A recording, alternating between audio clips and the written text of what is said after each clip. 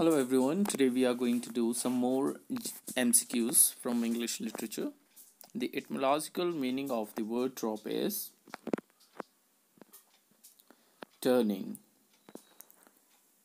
Who among the following English poets defined poetic imagination as a repetition of the finite mind of the eternal act of creation in the infinite? I am Coleridge.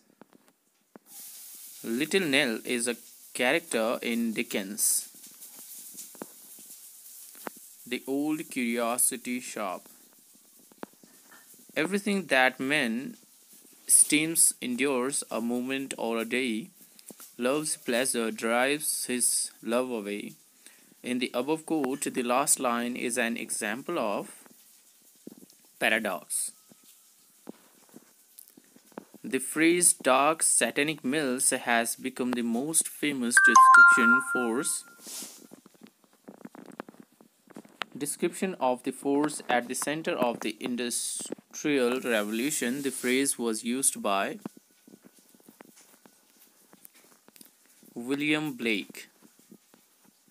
Five miles meandering with a mazy motion through wood and dale the scared river ran.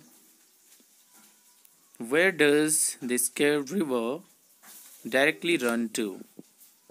A lifeless ocean. Which poem by Shelley bears the alternative title The Spirit of Solitude? the, uh, the answer is Alastor. Which tale in the Canterbury Tales uses the tradition of the beast fable? The Nun's Priest Tale. At the end of The Sons and Lovers, Paul Morel sets off in quest of life away from his mother. When you say, I love her eyes, her hair, her nose, her cheeks, her lips, you are using a rhetorical device of enumeration. With Bacon, the essay form is the aphoristic expression of accumulated public wisdom. Milton introduces Satan and the fallen angels, angels in the book first of Paradise Lost Two of the chief devils reappears in book second. They are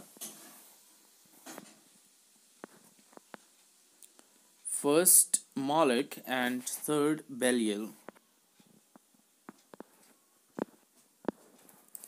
When Chaucer describes the friar as a noble pillar of order, he is using